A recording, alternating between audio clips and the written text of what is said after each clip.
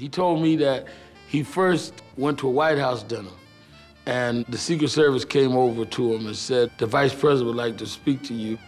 And he told him, well, I'm not going over to him like a, a little boy. Tell him to come over here. The Secret Service guy kind of looked stunned.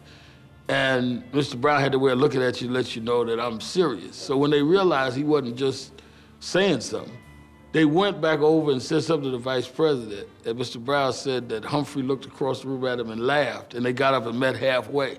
And he liked that. He said Humphrey understood me. He respected me. He said Humphrey said to him, well, you know, you got to be careful now, Mr. Brown, after helping to stop those riots. And uh, James Brown said, he looked at him, he says, what do you mean be careful? I helped do the right thing. I brought peace. He said, yeah, but those in power don't like people that have that kind of influence that we know that if you can stop a riot, you can start a riot.